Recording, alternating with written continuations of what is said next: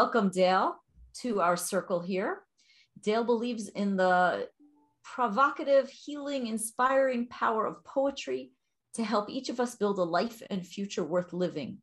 He believes great poems are like powerful apps for the mind, good stories with all the boring parts removed. Mm. And Dale, I will hand it over to you, and you are so welcome here. Thank you, Nurit, so much. And also a special thanks to the Lake Erie Institute for uh, putting this gathering on and for arranging all of this. And and uh, also particularly welcome to everybody that's here. I see, I see uh, uh, longtime friends and also uh, folks that I hope will become longtime friends. So it's wonderful to be here. Okay, well, thanks again for all of you being here.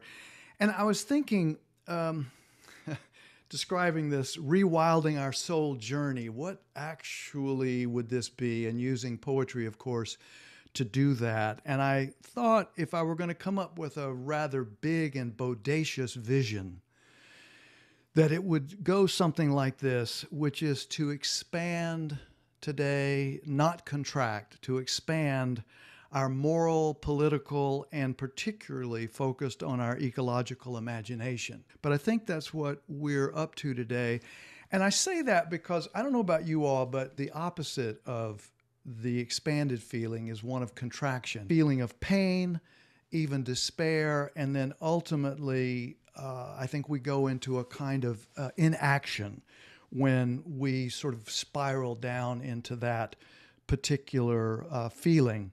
And so I thought to myself, what well, what do we do? I mean, what what can we do about this, and how can poetry help? Well, that that of course is what we're going to try to answer over the next uh, minutes and hour and a half or so. Um, but I think that it has to do with connection. And if I had to go to one root cause of what has has us in such a difficult situation in our world today, particularly around the natural world, ecologically, it's because of this profound disconnection that we feel. And I think what what poetry does, it's elixir, it's expanding force, it's magic even, is this ability to have us feel more connected, first to ourselves, and then to others, and then to the great other which again is what we're so focused on. And I think that, sort of by definition, what we're saying is that a wild, free, and untrammeled soul, by definition, is one that is connected. That, that's uh, what I'm imagining. And I wanted us to start right in the deep end of the pool today.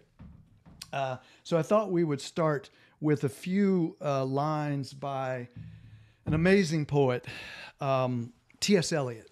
And this comes from a very long poem, The Four Quartets. Anyway, let me just say it. Not known because not looked for, not known because not looked for, but heard, half heard in the stillness between two waves of the sea.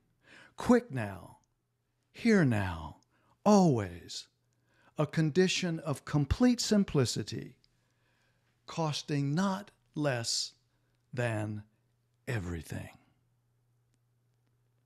Quick now, here now, always, always a condition of complete simplicity, costing not less than everything. Now, I think that one of the reasons that I wanted to start with those few lines by T.S. Eliot. One is I want to tell you a little story to kind of ground those words. But the other is that I think that this major shift that we're talking about, and I know with many on this call, I'm singing to the choir, as they say, you know, because many of you have already thought deeply about this whole question of the natural world and, and, and what's at stake. And the thing is, is that I believe, though, that this major shift that we're going to have to take is not going to be simply driving a few more electric cars. It's not going to be putting a few solar panels up on the roof, although those things are great. I don't discount those things. but it's going to require something much more foundational. And I think when the poet talks about this, a condition of complete simplicity, what does it cost? Not less than everything. So there's a more fundamental change, I think, that we are needing and what's pointing to. Now, I want to tell you a little story. Let's just ground this down in, as we say sometimes, the real world, uh, as if we knew what that was. I was coming out of a food store. This is two, three years ago. And uh, I happened to be in one of those. I don't know if you guys know, you know, the, the to do list days where you're just cooking, you're just booking, you're just getting, go to the store, do this, pay the bills, blah, blah, blah, right? And so I was on that kind of mission that day, and I was coming out, and there was a bunch of other people, and we were all rushing out the door, and uh, and you know, just everything had to work perfectly for us to get out that door. And so all of a sudden, like on a freeway, when somebody slams on the brakes and you start seeing, you know, the backup, that's what happened to us. About four or five people, groceries and all this kind of stuff. And so I looked around. I wasn't right in front, but I looked around and I could see the offending party. And it was two year old, looked like a little two year old girl. And what she had done is she had stopped and stopped all this traffic right outside the market. She'd squatted down, sumo wrestler type, you know, with like a two year old can do in, in a kind of a comfortable fashion. And she was squatted in front of what looked like a um, one of the it's like a gardenia bush or a gardenia plant in a little one gallon pot. Squatted, looking eye to eye, nose to nose, toe to toe to that plant, and she screams at the top of her voice, "It's a flower! It's a flower!" And it took me a moment to get out of my grumpy self because my grumpy self was what in the what's going on here? I got stuff to do right? But all of a sudden and and to her dad's credit he didn't just like rush her off. To his credit he you know he was juggling stuff. He he kind of went along with the gag and and she was there. And all of a sudden i looked and i went she's right. That little girl's right. It is a flower. And I looked up and I said, That is an amazing cloud. That is incredible blue sky up there. I've got this bag of groceries that's going to make this incredible dinner tonight. A two year old doesn't need T.S. Eliot, but we do, I think. Because the two year old goes in and out, mostly in to that state of complete simplicity. But that's what she was talking about. And that's what's at stake for us. I talk sometimes about stealth poetry. And, you know, again, a little, this two year old little girl was such a mentor to me, such a wise being to teach me what it's like to live life in that moment of complete simplicity. And so I've thought to myself over the years, because I have, uh, you know, one of the things that I've tried to do is I've tried to drag poetry into some vi- some places where poetry is not normally, uh, you know, uh, talked about. And in the in the business world, I uh, I have done that, and I think that there's this idea that we need to sneak up on ourselves. I mean, I love poetry. I've loved poetry for years, but I get just as caught up in life, in in in rushing to-do lists. And I need those places where I get stopped, where all of a sudden I can become a seeker again. I can become a seeker again. And I think that sometimes a good poem can fly right up underneath the radar screen, screen of our strategic minds, right directly to the heart. And I want to talk to you about a poem that I've used. And I'll tell you a story in just a moment about this particular poem. Many of you will be familiar with this, but I think if we were going to say, you know, Nurit and I were talking about what is an eco poem. Well, I don't know, but let's figure it out. And I think that if you're gonna if you're gonna get into eco poems, then this woman's got to be on your radar list, Mary Oliver. So here's a poem, and then I, I want to tell you a story because I've used this poem in so many cases. This is what I consider to be a very, very sneaky and stealth poem because people who may not have read a poem for many years will be exposed to this one and they will have, mm, they will be kidnapped in ways that they didn't expect. Mary Oliver, The Journey. One day, one day you finally knew what you had to do and began. Though the voices around you kept shouting their bad advice, though the whole house began to tremble, and you felt the old tug at your ankle, ankles, mend my life, mend my life. Each voice cried, but you didn't stop. You knew what you had to do, though the wind pried with its stiff fingers at the very foundations, though their melancholy was terrible and it was already late enough, and a wild night, and the road full of fallen branches and stones.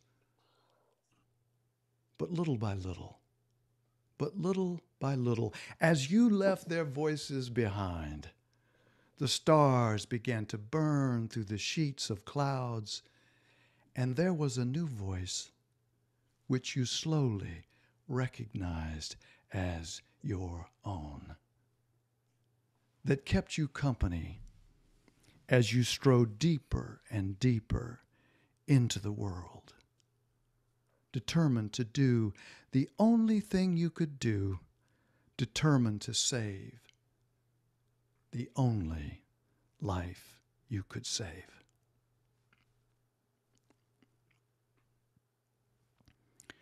Stand up, say that poem in a room full of codependents, and they all start crying. What is the life? Who is the life? What is the life? The only life you can save. I've often said that a good poem is one where you come out of it on the other end different than you entered. So, this poem, I think the way Mary Oliver, in the last part of that poem, she does this thing with sound that I think it's like we're already we're already opened up. Hopefully below, you know, the radar screen. But when she starts saying, as you strode deeper and deeper into the world, determined to do the only thing you could do, determined to save the only life you could save. So I use this poem in a speech I gave some years ago, a number of years ago, to a group of large family owned businesses. And there was a gentleman sitting at the front who, I'm going to date myself here, see if anybody under, if knows this reference. He was looking at me like the RCA dog. You know what I'm talking about? you know that you know that famous ad where the dog is looking at the speaker intently? Well, that's how he was looking at me. And I couldn't tell whether it was, you know, like he was enjoying it or whether he was going, What is this guy saying? I wasn't quite sure. And so I, this poem I did late in the speech and, and I worked it in somehow. He came up to me right after the speech, shook my hand, said, Dale, I loved what you did today. I've got another appointment, so I got to run. But I just wanted to tell you that. So at least I had a clue that he liked it, that his RCA dog look was was one of, you know, hopefully, you know, that he was had been interested in liking it. That night about six o'clock, I had to be happened to be in my home office, and I, which you know usually wouldn't be answering the phone at six o'clock. But anyway, I picked up the phone, and the other person on the other end said, This is Juelle Fisher.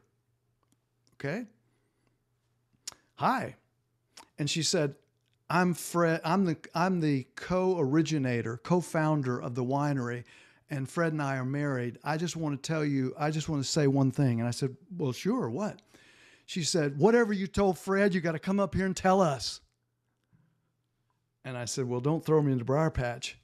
And so uh, I'll be up there as soon as I can. Now, that started a multi year relationship with the family and the winery, and it was just wonderful. But I asked Fred, I asked him later. Now you got to know this. He is a trained engineer, brilliant guy, but so heady, so incredibly, uh, what do they say, left brain oriented. That this poem had, you know, it's like somebody who is a um, what do they call a reformed smoker or something like that, where once they switch, they're like they're they anyway.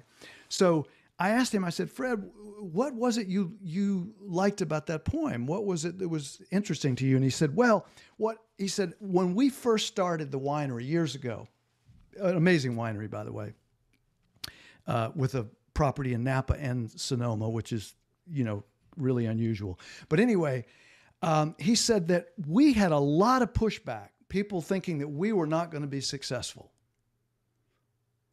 And he said, You reminded me of how it felt both to be that scared and yet to have it work.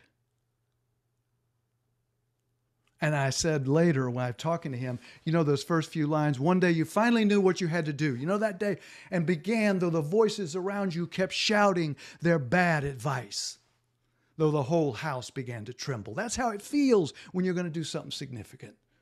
But what's interesting, and I had a conversation with Fred, and I said, Fred, you know, not like, you know, I mean, like I was suggesting it to him, but I said, often the most difficult voices are not the ones outside your head, but the ones inside your head.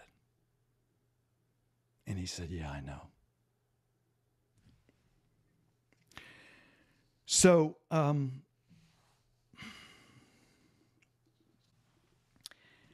I, I want to be clear about this. I don't I don't think that there's anything lo- wrong with logical linear mind. In fact, we need to be brilliant. We need to be as smart as we can.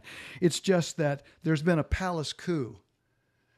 And in our culture in particular, maybe in the West, what we've done is we have we have advantaged our intellect so much that we our our heart and our intuitive sense, our nonlinear sense we have uh, pushed to the side. So I think that's one of the reasons why we need more and more um, uh, poetry that that allows us to do this. So I said to myself, "What is an eco poem?"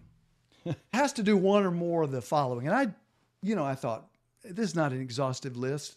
And I'll be curious if others have different things you would add. If you have a thought, we're going to have a you know, we'll have a time for conversation at the at the end of our time together. So make a note, put it in the chat, you know, or make a note there where you are. But I said, what is an eco poem? Well, it's got to it's got to have something about the natural world, and it would help if it has some awe of the natural world. And if it praises and describes in a way, that'd be a cool thing. Human relationship within the natural world, as the great writer Wallace Stegner said, we ought to be good animals. And in a famous letter that he wrote, quote says, one means of sanity, one means of sanity is to retain a hold on the natural world, to remain, insofar as we can, good animals. And to be a good animal, I think we have to do, and a good eco poem speaks to this third bullet point regeneration and stewardship. I think that has something to do with being a good animal. Also, as I've already talked about, a good eco poem integrates head and heart. I studied for many years under uh, Wendy Palmer and uh, George Leonard. I studied the martial art of Aikido, and this particular deal behind me is uh, the three great shapes of Aikido. And the idea is to integrate the head and the heart. And the Japanese call this mysterious but also literal place in the center, they call it the hara, H A R A. So I sometimes say, because it's good alliteration, that we need to integrate head, heart, and hara. And when we've done that, that means that our head and our heart are informing the actions that our feet are taken are taking or the hara. And then, of course, the last one is to rewild the soul. The head is brilliant at understanding how to do something, but it is the heart that tells us if we ought to do it. Okay, we can't have an eco poetry event without including a poem by David Wagoner. I'll tell you a little story about him after I do the poem. It's called Lost. Imagine that a elder would be answering a young indigenous boy or girl when they ask the question, What do I do when I'm lost in the forest? Stand still. The trees ahead and bushes beside you are not lost. Wherever you are is a place called here. And you must treat it as a powerful stranger, must ask permission to know it and be known. The forest breathes. Listen, listen, it answers. I have made this place around you. If you leave it, you may come back again, saying, Here. No two trees are the same to raven, no two branches are the same to wren. If what a tree or a bush does is lost on you, you are surely lost. Stand still. The forest knows where you are. You must let it find you.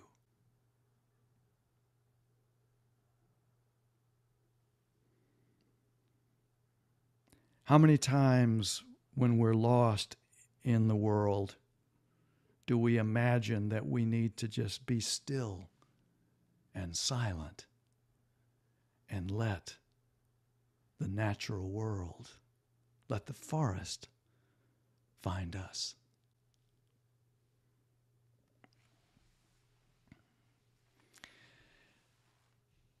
So one night, years ago, I was preparing for a class, a series of classes actually, and I was using this poem. I'd loved this poem. I've loved this poem for years and years and years. And so I got this bright idea uh, about 12, 12.30. I'm burning the midnight oil, preparing for this class. And I thought, I'm going to see if I can find David Wagoner's email address because I want to understand what he was thinking about when he wrote this poem. So I found it. He used to he taught he's he's emeritus professor at the University of Washington. And so I actually found an email, but I had no idea. I said, "Oh, this is probably old. He'll never get it." But on the long shot that he'll get it, I wrote, "Dear Mr. Wagoner, da da da da da," and I asked him some questions. 15 minutes later, in my email, David Wagoner's writing me back. What? so I opened it up. He basically said that he literally had only moved to Washington about a month or two before he wrote, wrote this poem, and he was lost in the forest. He was lost. And when he came out, he wrote this poem. So it was it was literal. I found a quote by uh, Daniel Wildcat, who is a Native American elder. He said this We live among relatives not resources. We live among relatives, not resources. And I thought to myself, David Wagoner, 30, 35 years ago, whenever he wrote this poem, he said, If what a tree or a bush does is lost on you, oh, you are surely lost. You are surely lost. I was talking to a group of high school kids one time, and I was using this poem this years ago. And uh, you know, I learned a long time ago when you speak to high school kids that you you gotta whoever's the cool kid in the in the room, you gotta befriend them. If you don't, you're in trouble. So anyway, this kid was you know like I don't know. He, I, I can't remember, but I said, if you want to think about this poem, think about it's 12 o'clock, you're in the city, and you're in a parking garage and you get on that elevator and there's this person standing there. It's about six five. You can't see their face because they're just looking ominous. I said that is the powerful stranger that wagoner's talking about in that poem. You treat that powerful stranger with respect. Oh there's a picture of david wagner. I wanted to show you what he looks like. He is um, about 94 95 years old now I'm, I'm not sure when that uh, picture was taken, but he's still writing poetry. He is still cooking. Okay, I just had to include this point for a lot of reasons. So um, let's do this one. Uh, somebody said you do that first line back east, particularly in places where there are a lot of there's a lot of Puritan orientation, and people go, "What? you do not have to be good." You do not have to be good. You do not have to be good. You do not have to walk on your knees for a hundred miles through the desert repenting. You only have to let the soft animal of your body love what it loves. Oh, tell me about despair, yours, and I will tell you mine. Meanwhile, the world goes on. Meanwhile, the sun and the clear pebbles of the rain are moving across the landscapes, over the prairies and the deep trees, the mountains and the rivers. Meanwhile, the wild geese, high in the clear blue air, are heading home again. Whoever you are, whoever you are, no matter how lonely, the world offers itself to your imagination, calls to you, calls to you like the wild geese, harsh and exciting, over and over announcing your place in the family of things.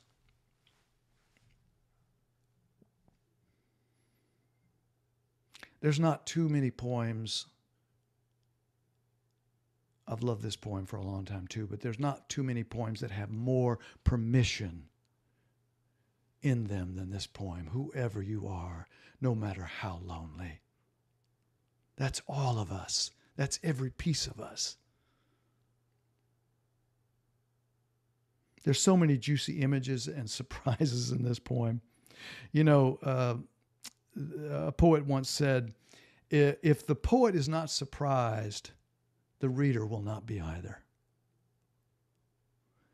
So, one of the wonderful things about writing poetry and reading good poetry is to have the poet, have yourself, if you're writing it, surprise yourself. You know, um, to, to learn things that you didn't know you knew. One, one wise person, a poet named David Whyte, said, I gave up science for poetry because poetry was so much more precise.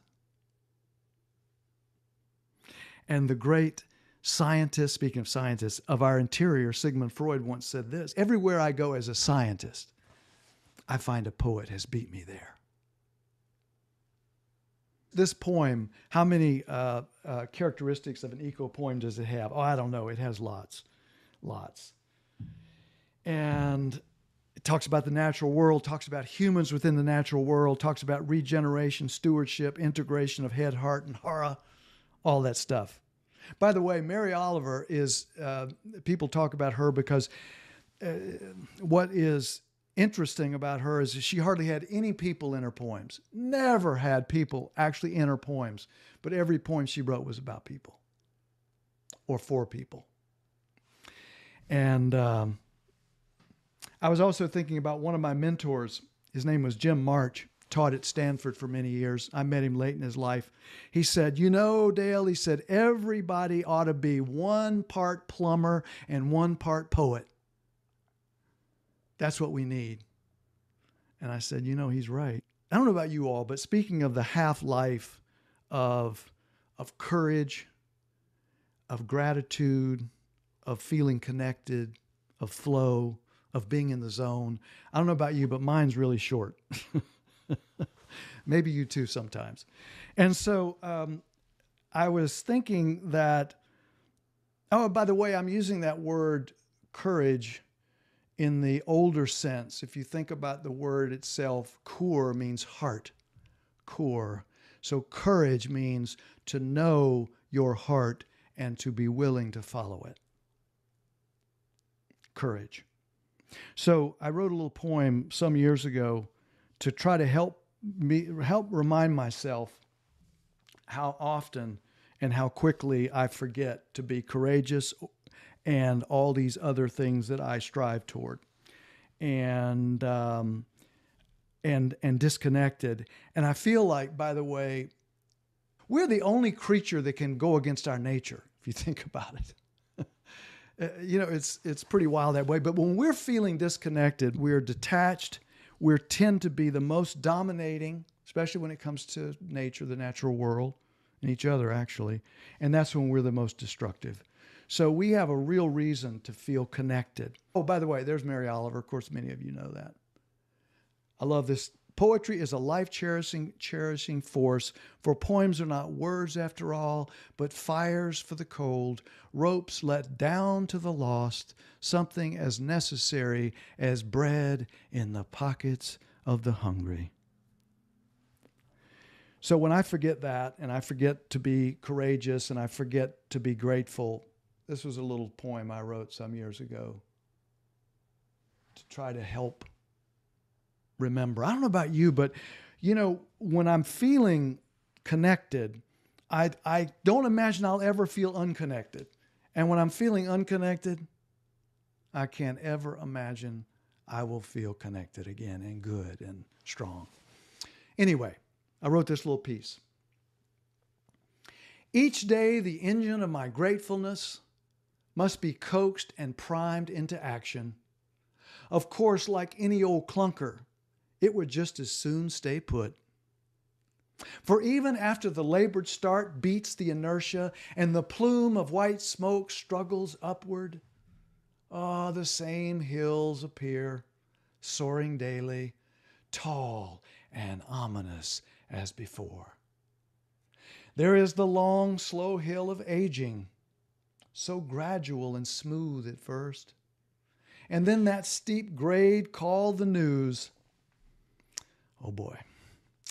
Yes, and always, always some mountain of a war looming out there, never too far in the distance. Even an old idea or a feeling long abandoned might conspire to halt this fragile progress. Valves sputtering, tires flattening, clutch slipping. But the old potato, potato, potato sound of the engine and all its mysterious fuel, for which I am truly grateful, somehow, somehow keep stumbling along.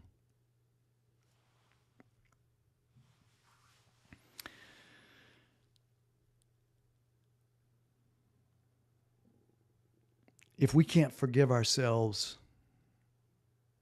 for becoming uncourageous, for becoming ungrateful. If we can't forgive ourselves for, you know, I had this moment behind that little girl, it's a flower. I had a moment where I'm going, get off my lawn. if we can't forgive ourselves for those moments, I think we're in trouble. And you know, I believe that in this old statement, Hurt people hurt people. Hurt people hurt people. And if we let ourselves get profoundly hurt and we do not heal, then we're liable to do a lot of damage. Ah, but what the poet Rumi says is that if your heart is pure, you are helping people you will never know or see. Okay. In closing, three questions. What poems do you need to integrate your head, your heart, and your hara, your center, your body? What poems do you need?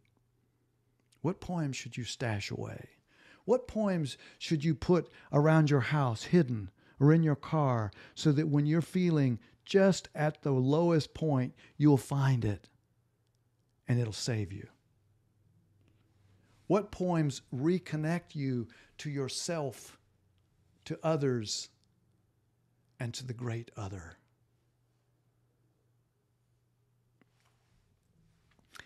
And how will you remember?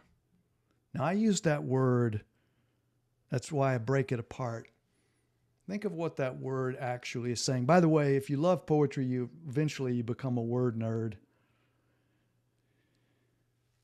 And if you think about what remember, it means to re put ourselves together, to remember ourselves.